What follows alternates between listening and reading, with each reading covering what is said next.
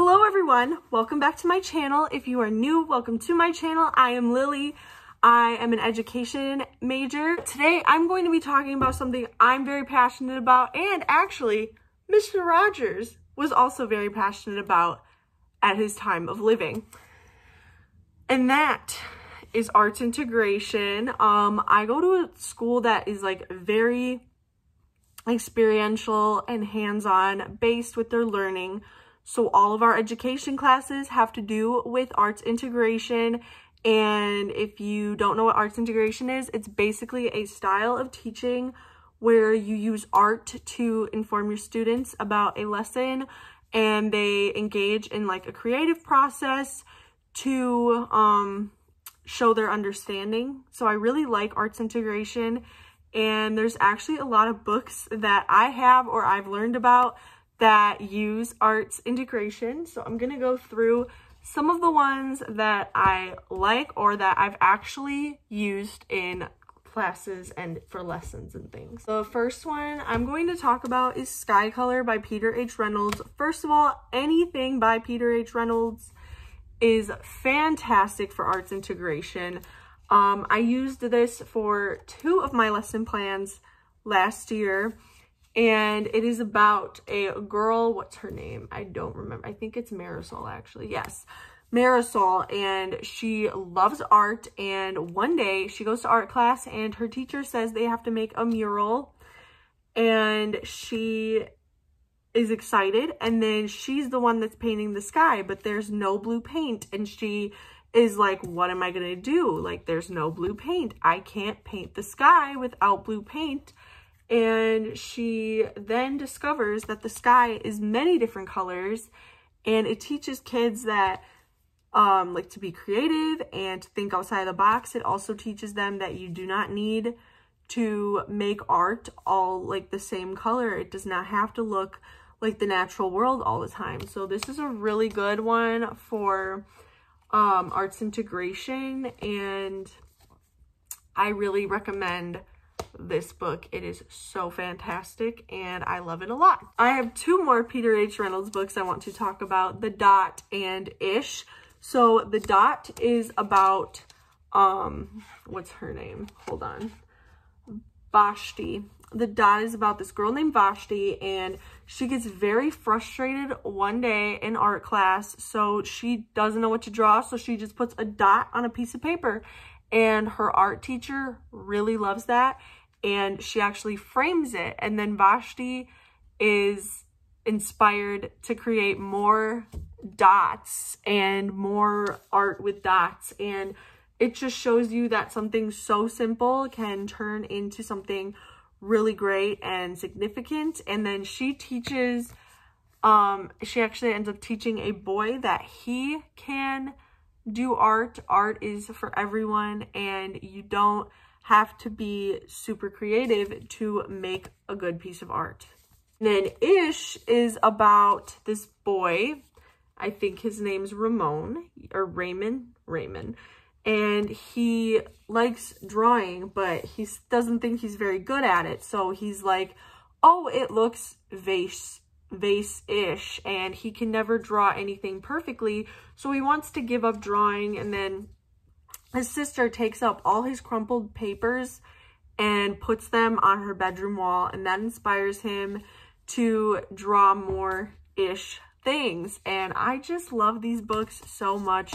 They teach such good lessons and they're really amazing stories and I really recommend checking out Peter H. Reynolds. The next books are ones I haven't done lessons on, but I would love to do some lessons incorporating. The Day the Crayons Quit and The Day the Crayons Came Home, and these are by Drew Daywalt. And basically, the crayons are going on like a strike, and they write their owner letters about why they're not happy with what the owner is doing. And it's a really funny book, but it also teaches kids to be kind to their crayons, which is really good because if you're a teacher, you understand that like kids are very reckless when it comes to treating things nicely sometimes. So this is a good book. And then there's The Day the Crayons Came Home and they write letters saying um, about like their adventures and how when they come home, they hope they're treated better. And it's really good. And I love both of these books. They're super duper cute. And I highly recommend checking these out. The next one is by my favorite children's author, Mo Willems. This is one of his only books that I know of that isn't like Pigeon or Elephant and Piggie. And it's called Because, and it's actually loosely based on a true story. And it starts with um, Franz Schubert being inspired by Beethoven. So every sentence in this book starts with the word because. And it's like, because Beethoven wrote music, a, man named Franz Schubert was inspired. And because Franz Schubert had a concert, this little girl was inspired and she actually became a musician named Hilary Purrington and it's just really cool. It is like her life story of like how she became a musician and I love this book and I think having the kids write um, a cause and effect sentence with this book would be really cool and then they could draw a picture of that. That would be super duper cool i think. Like the rainbow fish. This is about if you don't know what the rainbow fish is about it's about this fish who is as you can see very sparkly and everyone admires his sparkly scales and they all want one and he's very selfish about it. He says those are mine. You can't have them and then he doesn't have any friends because he's so selfish and one day he meets up with this, I think it's an octopus. And the octopus is like, maybe you should give one of your scales to each of your friends. And by the end of the book, he's happy because he has more friends and he only has one scale, but he's just like, now he is like everyone else. They all have one sparkly scale and he is very happy with it.